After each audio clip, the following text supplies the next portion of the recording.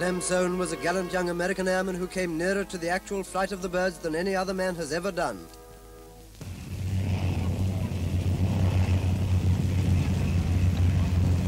His last display near Paris. Bird like he swoops through the air. His parachute fails.